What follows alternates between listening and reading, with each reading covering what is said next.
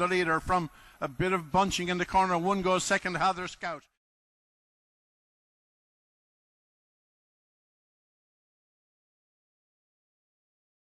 Silver Penny into the corner. Tucker Foley in front. There's a bit of a pile up in behind, on six now.